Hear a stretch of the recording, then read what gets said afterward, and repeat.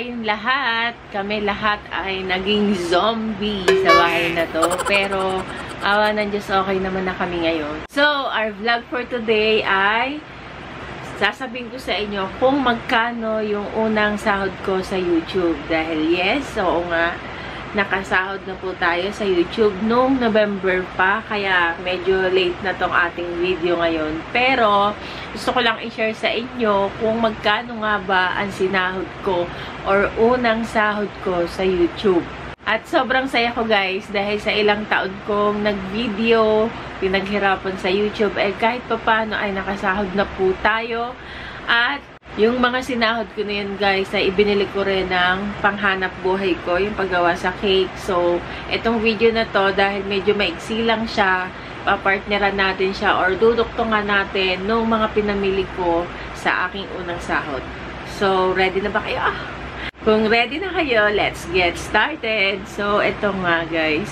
Sumahod ako sa YouTube nung, ah, wait lang simulan natin kung kailan ba ako talaga nag-start mag-YouTube. Parang 2000, basta ang tagal na. 4 years na nga yata ako nag-YouTube eh. Pero hindi ako seryoso nun guys, kasi ano yung parang upload-upload lang, ganun. Parang 2016 yata ako nagsimulang mag-upload. Tapos, hindi pa ako seryoso kasi nga, um, una-una nahihiya ako dahil hindi naman ako sanay. Although, mahilig ako mag-post sa Facebook, mag-video-video, pero hindi naman ako sanay mag-vlog talaga. Tsaka parang nahihiya pa talaga ako. Kahit naman hanggang ngayon eh, nahihiya pa rin talaga ako mag-vlog. And then, nung una, ano, parang, kaya dumaming subscribers ko nung una kasi nakikipag-sub to sub ako. Kasi parang isip ko nung hirap maka 1,000 subscribers at saka maka 4,000 watch hour. Kasi bago ka makasahod guys, kailangan naka 1,000 subscribers ka na, then naka 4,000 watch hour ka na views sa, inyo, sa iyong mga i-upload na video. Then, syempre parang hirap nun i-reach, ba diba? So, sa kagustuhan ko na makarami talaga yung subscribers ko, nakipag-sub to sub ako, uh, kung saan-saan group ako sumasali sa Facebook para makapag, ano ako, makalikom ako ng maraming subscribers. Kaso mo guys, ano, parang waste of time din. Kasi, mag, uh, ano ka ngayon, halimbawa may kipag-sub to sub ka ngayon. Tapos, maya-maya, after kanilang masub or masubscribe, mag-unsubscribe sila sa'yo. So, lugi ka. Ikaw kung honest ka, tapos sila hindi, lugi ka, di ba? Then, ayun uh, nga, parang nagpakapagod ka, nagpakapuyat ka, tapos pagising mo sa umaga or maya-maya lang nga eh, wala na, malis na sila, hindi na kagad sila nag-subscribe kasi hindi naman nila gusto yung content mo. So, parang niloloko mo lang din yung sarili mo, ba diba?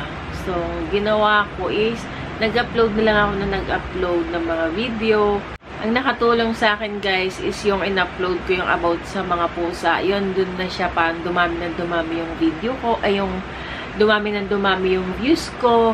Tapos maraming nag-subscribe sa akin.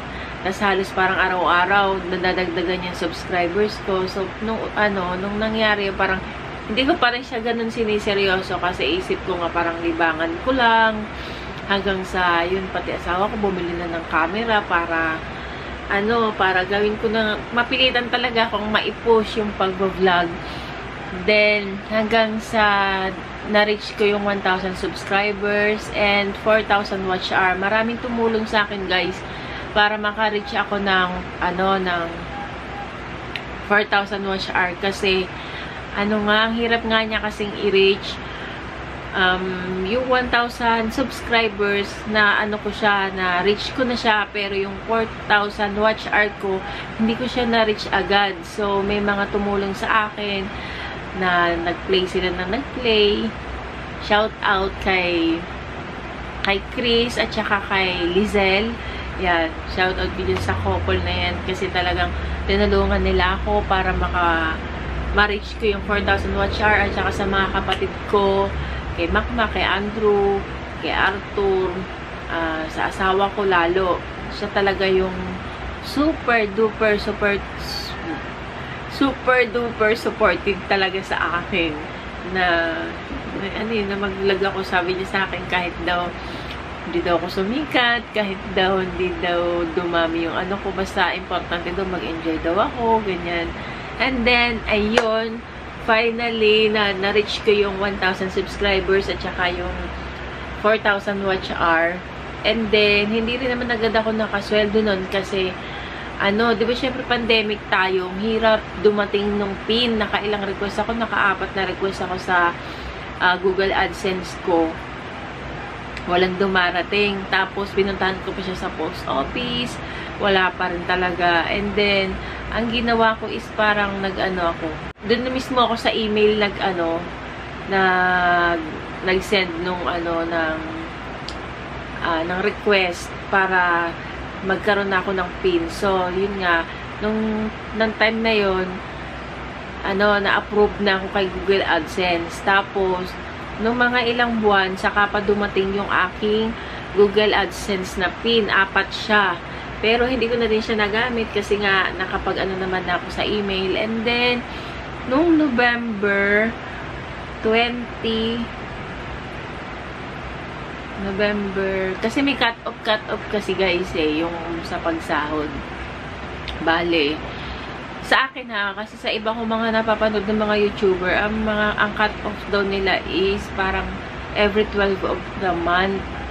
Parang ganun. Parang every 12 of the month sila nag-ano na nagka-cut off. Doon daw bumibilang pumapasok. Yung parang pinaka buong kinita mo sa buwan, doon daw pumapasok sa kanila. Ako kasi talagang talagang inobserbahan ko at inabangan ko talaga November 8 na kompleto ko yung 100 dollars na threshold. Kasi kailangan, bago ka makasahod sa YouTube, guys, naka 100 dollars ka. Hindi ka makakasweldo hanggat um, walang 100 dollars yung ano mo, sasahurin mo. So, pumasok yung aking kabuuan para makompleto yung 100 dollars ko is November 8. So, uh, ganito kasi, kasi yun guys. Halimbawa, yung sinahod mo ng from October 1 hanggang 31, pumasok yun lahat sa akin November 8. Yung iba, November 12 nga. Iba-iba kasi guys. Pero ako, uh, na-observe ko na ganon. November 8 pumasok siya. Bali, November 21 guys is Sunday. So, hindi ka agad siya pumasok kasi nga Sunday. November 22, wala pa rin siya guys. Kasi ano, uh, syempre, ano eh, yung oras natin magkaiba sa Amerika, ba diba? Kaya hindi rin siya pumasok ng 22. Bali na withdraw ko siya guys is November 23 na. Ang sinahod ko guys, ito na yung aking sinahod. Napakalaki ng aking sinahod. Sobrang laki-laki ng aking sinahod. Ang sinweldo ko sa YouTube ay 5,258 pesos. Yan. Ilalagay ko dito, guys.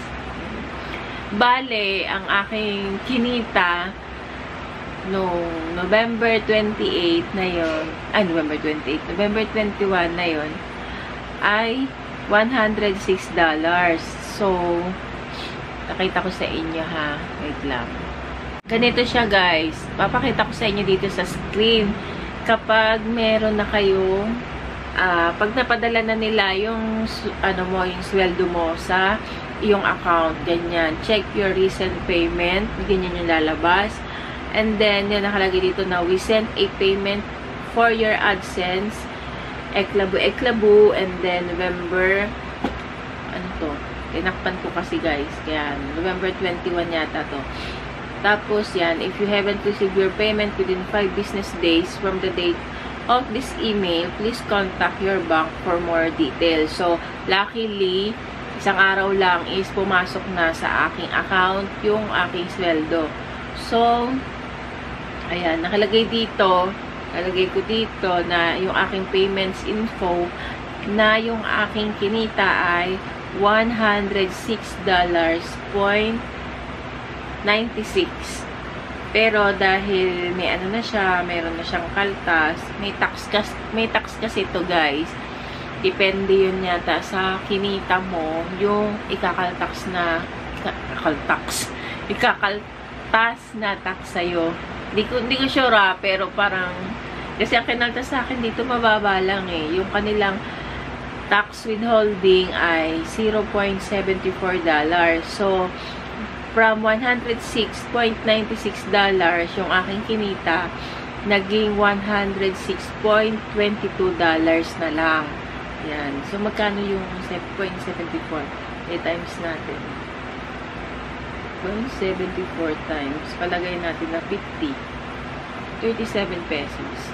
Baka ganun guys. Kasi nung ano siya, nung sinweldo ko siya, winidro ko siya, ayun nga na nag-balance ako, is nasa 5,200 plus yung aking ano, laman ng ATM ko. Pero wala kasi dun ano, wala akong kapera-pera dun sa ATM ko na yun.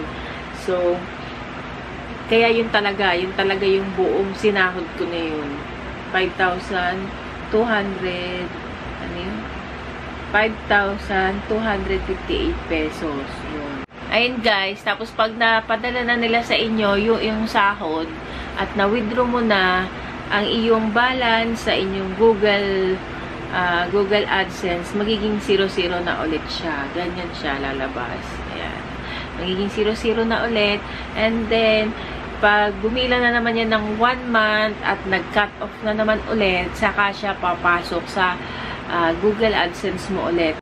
Kala ko kasi dati guys na everyday pumapasok dun sa Google AdSense mo, yung sinasahod mo hindi pala. Ano pala siya kada 1 month. So, ako, every 8 of the month, katulad, ano ba ngayon? 9. Uh, 9 ngayon. So, kahapon, pumasok yung aking, ano, pumasok na yung aking kinita sa loob ng isang buwan ng December. From December 1 to December 30, papakita ko sa inyo. Wait lang. Kung ano, kung paano siya. Ayan, ito na siya guys. Pumasok na kahapon yung kabuuan ng aking sinahod from December 1 to 31. So, ito yung aking total earnings. Ayan, papakita ko sa inyo. Nung November 1 to 30, 2021, ang aking sinahod ay ito. Hindi naman sinahod. Ang dumagdag sa aking account ay yan, $10.20. And then from December 1 to 31, $18.97. So, lahat-lahat guys ng aking uh, ano, aking kinita ng dalawang buwan is $18.97. So, ano yan, bibilang ulit yan. From January 1 naman hanggang 30, Then, papasok siya sa akin ng February 8. Ayan, guys. So, ayun.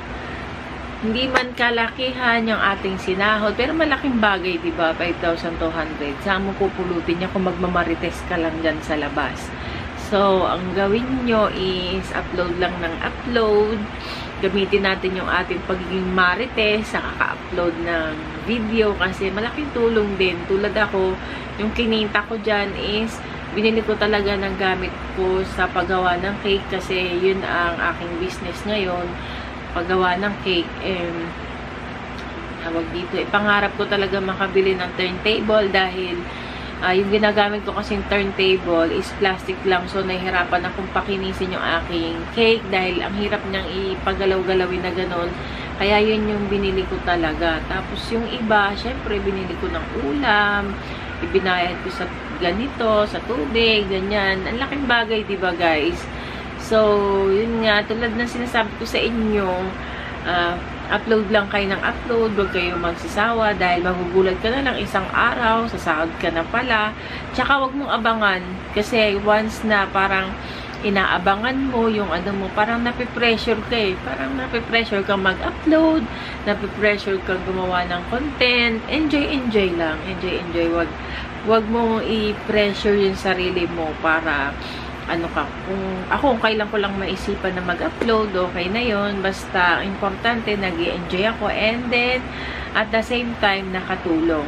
So, ngayon, di ba, medyo mababa pa ulit yung ating kinita. Pero, ganyan lang yan. At least, magugulat ka na lang isang araw, di ba?